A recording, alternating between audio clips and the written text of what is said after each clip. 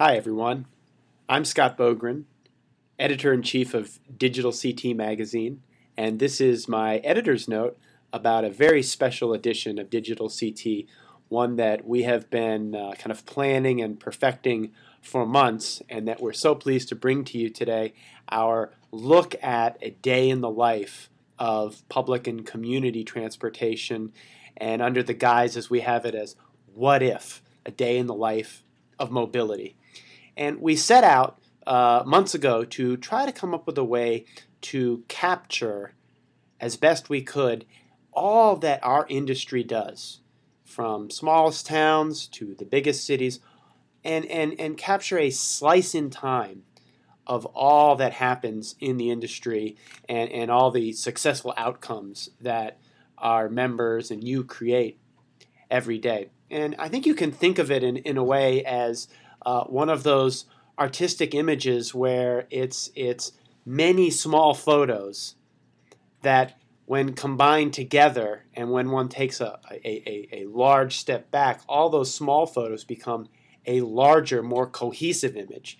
And that's kind of what we are attempting to do, and I think successfully have done with this edition, is tell the stories on an hourly basis of 35 reporters, transit reporters from around the country, and those reporters uh, stretch from the eastern coast of Maine all the way to Hawaii, and they also encompass transit operators in small towns, in big cities, in suburban areas.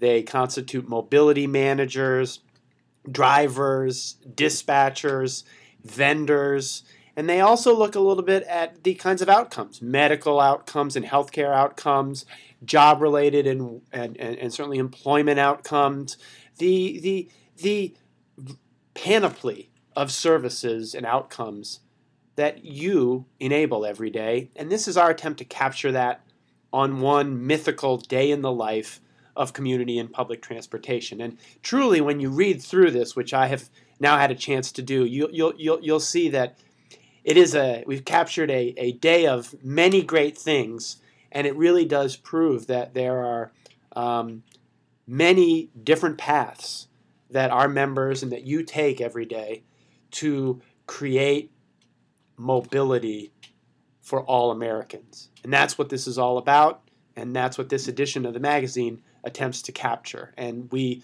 we in no way think that this captures everyone.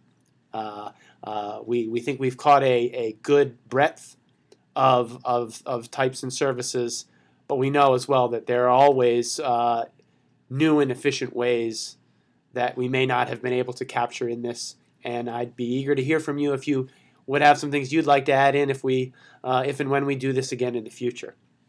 You'll also see when you look at the layout of the publication that in addition to just the, the elongated timeline, which is on Eastern Time. Uh, not only because uh, we here are on Eastern Time, but also because it was a, a way to kind of centralize and organize. So when you see an entry that says 7 a.m.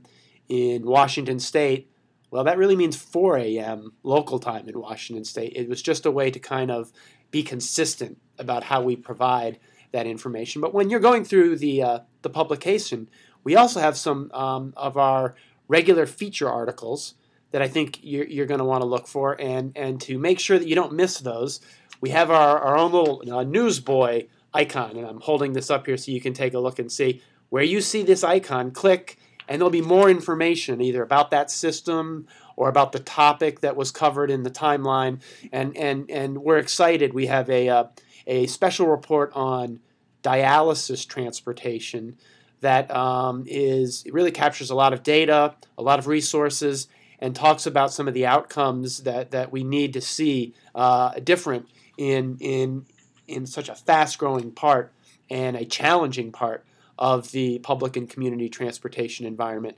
There's a uh, NRC report on veterans transportation you won't want to miss. We have a feature on uh, transportation in south central Pennsylvania, looking at a, a uh, typical kind of best and promising practices on regional transportation in York, PA. Uh, that is just a, a, great read.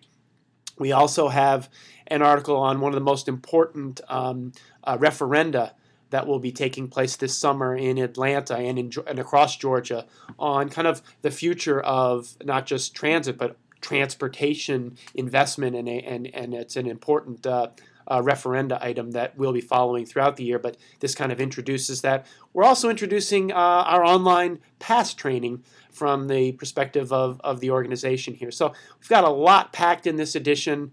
It's uh, it's a it's a special edition. It's something we've always wanted to try and and and never were, were able to do. And I really want to to again stress that that take this day in the life of community transportation, this day in the life of community and public transportation, and understand that on the positive side, when you look at all that's being done, you can also look at it and we kind of pose that, that question on the cover what if? What if these services weren't there? And this is just a small slice, very small slice of what goes on around the country in one 24 hour period. Multiply that times hundreds, if not thousands, of operators, and a lot more than just one day. And the what if becomes a, uh, an even more uh, important question, and it speaks, I think, very much to the value that it, that uh, that provided, and what we always like to say is, you know, the, the the great public service that you, our members, are engaged in every day. So, thanks again for taking a look at Digital CT. I hope you enjoy this special edition as much as uh, we've enjoyed putting it together. And I would be remiss if I didn't wish all of you a great, safe, and happy holiday season. Thank you.